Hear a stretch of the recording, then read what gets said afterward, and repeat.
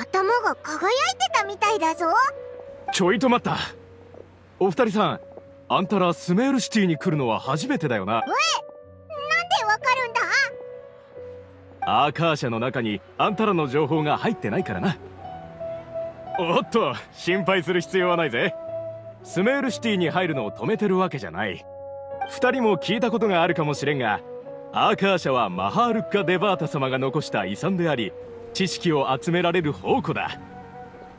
教霊院は数百年にわたって絶え間ない研究を重ねついに今やスメールの中でアーカー社端末を起動すれば誰もがアーカー社とつながることができる。アーカー社からは自分の必要な知識を得られるぞ。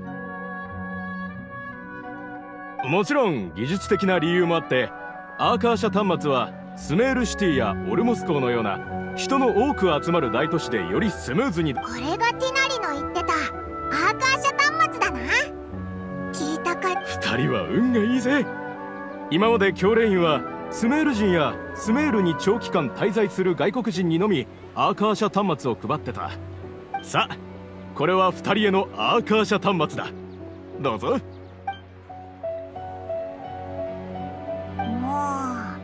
葉っぱみたいだな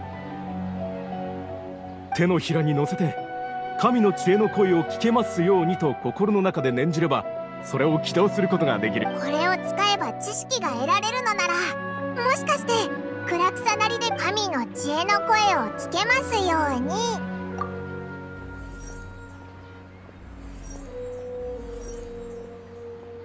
うわ！一瞬で頭がこれの使を考えるだけで習得できるなんてすっごく便利だな。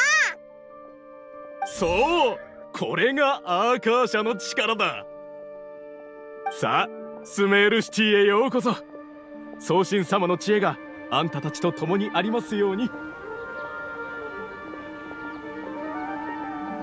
し早速アーカー社にク草なりデビの情報を聞いてみようぜ。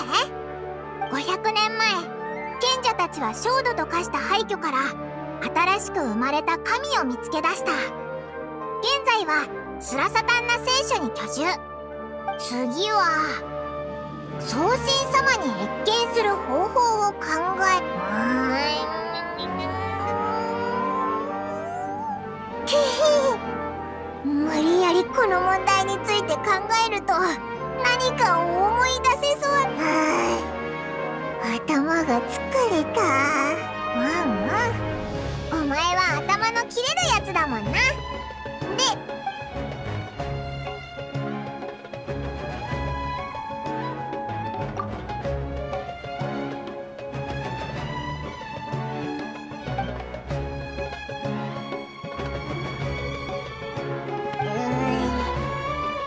たちはスメールに着いたばかりの外国人だから。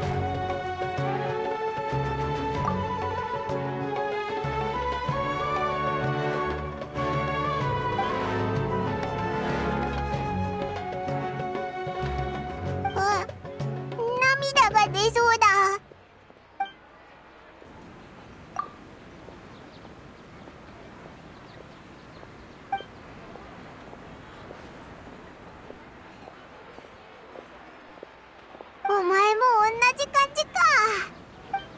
いろいろ試したけど暗草なりデビに会える方法は見つからなかったな。